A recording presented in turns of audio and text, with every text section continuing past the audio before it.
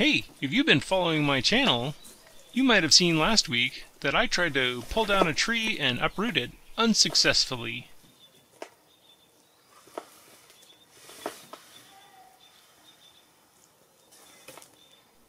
So close.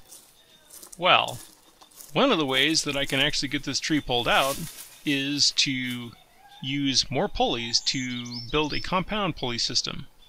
I'm going to show how I plan to set that up. I have more pulleys on the way, but they're not here yet. So here's my plan. So we have our tree. I'm going to draw out the 5 to 1 pulley system. So I have my pulleys at the tree side and then pulleys at the anchor point. And here's my anchor right here.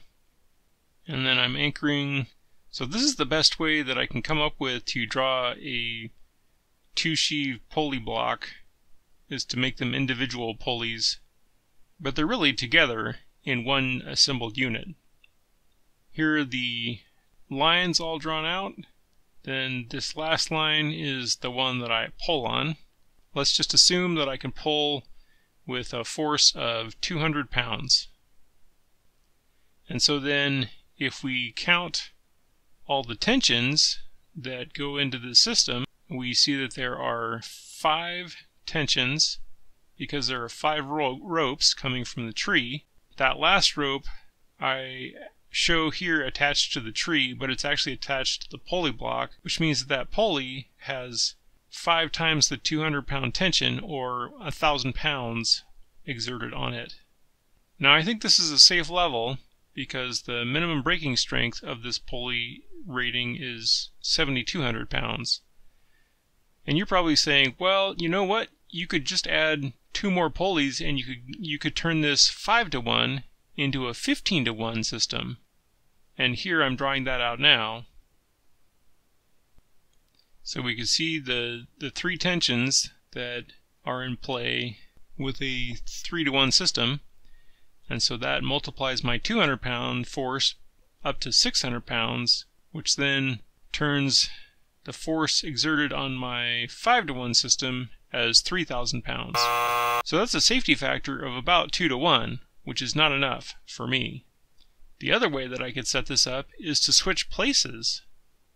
So here I attach the 3 to 1 system to the tree, and that allows me to reduce the force exerted on the pulleys so these individual pulleys that I am getting to build the 3 to 1 system also have a minimum breaking strength of 7,200 pounds. And so we have our 5 to 1 system with all the tensions and that turns into a thousand pounds uh, tension on the 3 to 1 system and so this pulley has if you add up the tensions, has 2,000 pounds on it, which is okay in my book.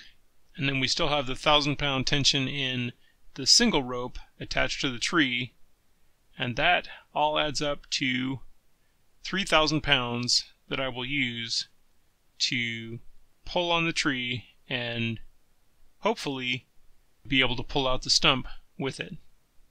We'll find out. Talk to you guys later.